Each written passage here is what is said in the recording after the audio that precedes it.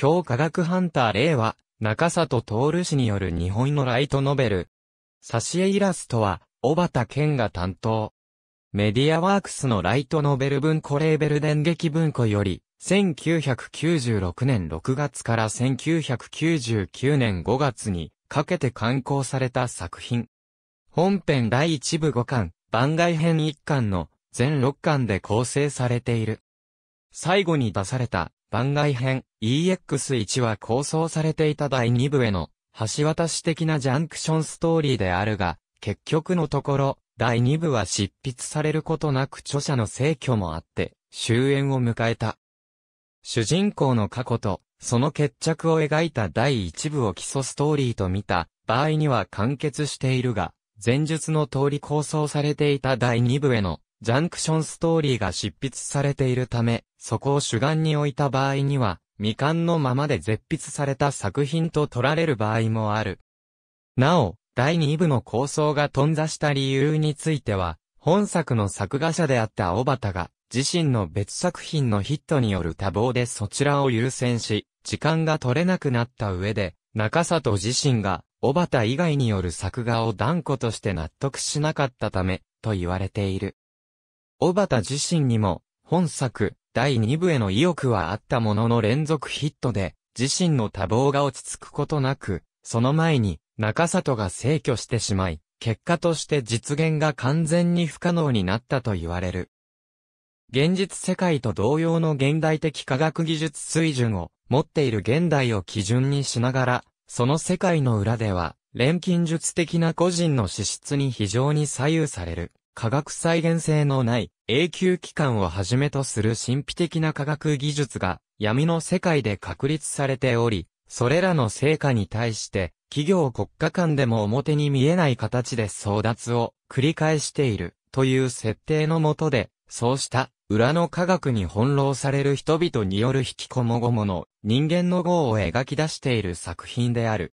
なお、中里が以前に原作を提供した漫画作品強霊捜査官0時が本作のプロトタイプにあたる。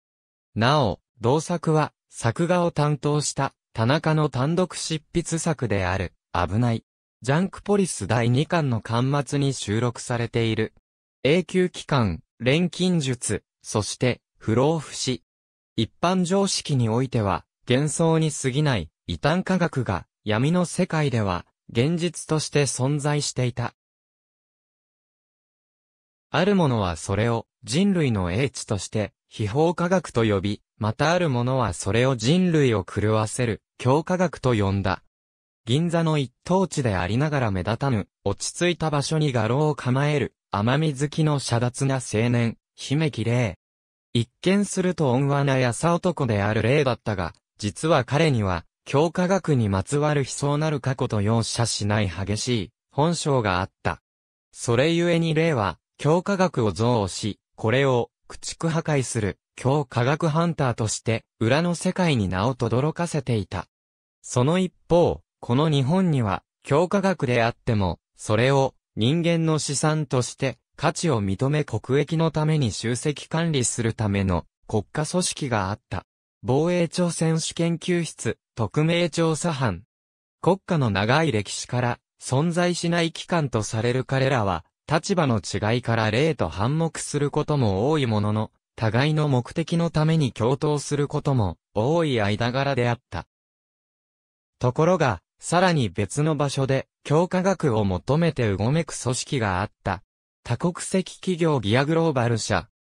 彼らは古代ヨーロッパより続く国際的な思想集団、黄金のバラの流れを組み、人間という種をさらなる高みに導くことを目的に、手段として全世界の思想を掌握するため、強化学を秘宝科学と呼んで、長い歴史の中でその知恵を求め集積していた。黄金のバラ、選手権、そして強化学ハンター。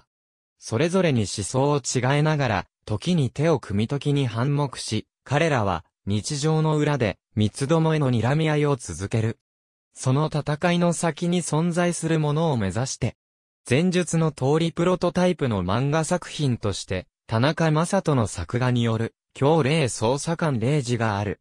強科学ハンター霊とは、以下の大まかな点が異なる。ありがとうございます。